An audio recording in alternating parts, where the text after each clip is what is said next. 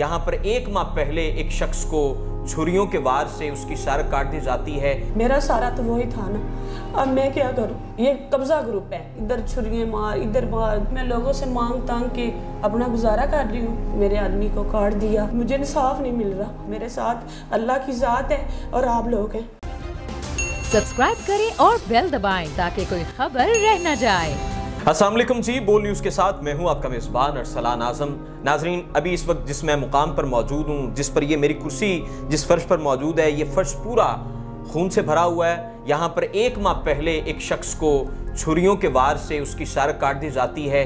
इसकी जो, इसके पीछे जो वजह थी, वो वजह ये थी कि ये जो मकान है, इसके साथ दो दुकानें हैं। ये दुकानें पिछले छः साल से किराए पर दी गई थी, लेकिन जो किरायादार थे उनकी तरफ़ से ये इसरार था, वो कहते थे कि हमें ये जगह भी सेल कर दी जाए। उन्होंने ज़ोर ज़बरदस्ती इन्हें बयाना भी दिया टोकन भी किया, जबकि इन्होंने टोकन जब वापस किया तो उन्होंने इनके खामन को जो है, वो छुरियों के वार करके उन्हें जो है, उनकी शारक उन पर उनको कत्ल करने की कोशिश की। ये कहानी क्या थी?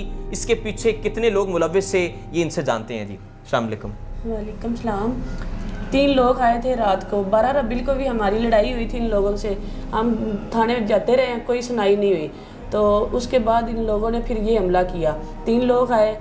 एक ने मेरी कान पट्टी पे पिस्टल रख के उधर दुकान में यानी कि मुझे रख लिया। तो दो लोग अंदर आ गए। उन्होंने छुरियों के साथ मेरे आदमी को काट दिया, बहुत जुल्म किया, अंतहाई जुल्म किया, जिसके लिए हम साफ़ मांगते रहे हैं पूरा माह हो गया। मैं कल के लिए औरत क्या करूँ? कि मैं अस्पताल में जाऊँ या अपनी बेटियों को टाइम दूँ या मैं थाने में जाऊँ क्या करूँ? मैं मुझे इंसाफ नहीं मिल रहा। अच्छा आप के खामद अभी इस वक्त कितने अरसे से जेर इलाज हैं और सताई दिन हो गए हैं। पिछले छब्बीस की ये वाक्य है। यानी कि आज छब्बीस तारीख होगी दो दिन बाद महीना हो जाएगा उसको। अच्छा छुरियों के साथ उन्हें जो है वो गले पे काटा गया क्या किया गया? कितने सारे बाजू खराब कर दिए उन लोगों ने। ये इधर छुरियाँ मार इधर मार सर में मार बहुत ज़्यादा उनको ज़ख्मी किया गया। और 400 डॉक्टरों का कहना है कि 400 टंका लगा और 15 घंटे उसका ऑपरेशन जारी रहा। ठीक है अब भी छोटे मोटे हर रोज़ ऑपरेशन हो रहे हैं उसके। जबड़ा उनके दोनों ही फारग यानी के कर दिए दोनों साइडों के। बेकार हो गया। मेरा कमाने वाला तो वही था। मेरा सारा तो वही था ना। अब मैं क्या करूँ? अच्छा घर में सिर्फ़ और सिर्फ़ वही कमाते थे और कोई कमाता था। बड़ा बेटा है वो आर्मी में अभी ट्रेनिंग में गया है। तीन महीने पहले गया है। तो ये छोटा बेटा है। इससे छोटा जो है बेटियाँ बड़ी हैं उनकी मैंने शादी करनी थी। तो इन लोगों को मैंने यही कहा कि या खुद गिरवी ले लो या मुझे खाली कर दो मैं किसी और को दे के अपनी बेटियों का फ़र्ज़ अदा कर लूँ। और ये इस इन लोगों ने मेरे साथ यानी कि हमारे साथ गुंडाबाजी की। ये लोग कब्जा ग्रुप में इधर के जो लोग हैं इनके साथ बहुत ज़्यादा मुलवस हैं। हमारी ये लोग सुनाई आगे नहीं होने देते चल के थाने में ये लोग ग्रुप ग्रुप बन के जाते हैं। मैं अकेली औरत जाती हूँ। मेरे साथ अल्लाह की ज़ात है और आप लोग हैं। जिस वक्त आपने उन्हें दो दुकानें दी किराए पे जी। तब आपके इल्म में नहीं था कि वो लोग उनका तशखस तो बड़ा ख़राब है वो लोग तो बदनाम जमाना है? ये छः सात माह पहले इन्होंने बाबे को भी मारा था। हम्म। खुद मार के इन लोगों ने उसकी बहू और बेटे पे डाल दिया।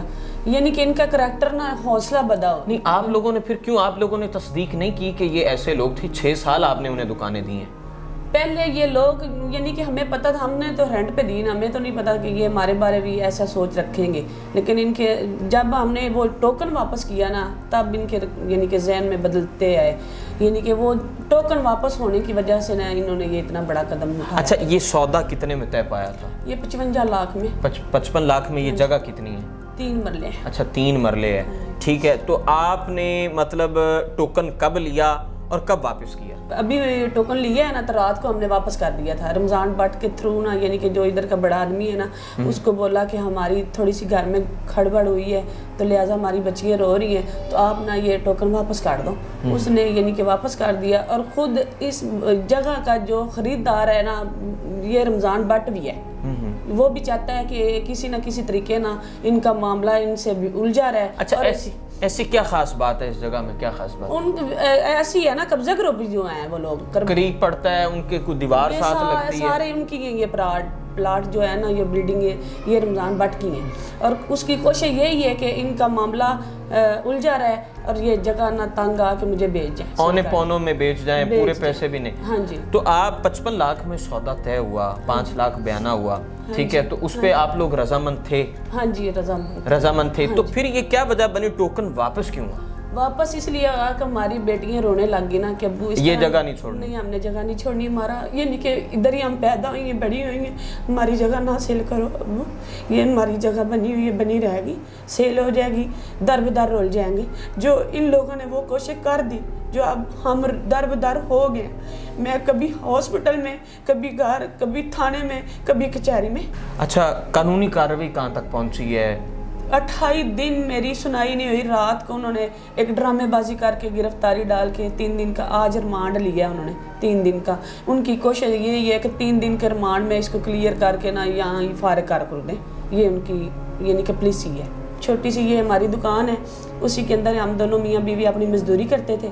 दो हमने रेंट पे दी थी जो कि रेंट इधर पाँच हज़ार रुपया किराया चल रहा है एक दुकान का इन्होंने गुंडेबाजी पे पंद्रह सौ रुपये लिए हुए थे दो दुकानें तीन हज़ार में लिए हुए थी। और पिछले ये छः साल से ही इतने हाँ जी ये इतने पैसे दे रहे थे। इतने पैसे दे रहे थे।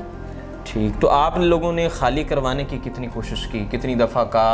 तीन चार दफ़ा का घर जाकर भी मैंने मिनते की कि मैंने अपनी बेटी की शादी करनी आप लोग गिरवी रख लो मुझे पैसे दे दो तो मैं शादी कर लूँ। अच्छा ना गिरवी रखते हैं ना छोड़ते ना छोड़ते हैं ना खरीदते हैं। हाँ जी। अच्छा मुझे ये बताइए कि अभी अखराजात कैसे मैनेज हो रहे हैं और मैनेज ये हो रहे हैं कि मैं लोगों से मांग तांग के अपना गुजारा कर रही हूँ।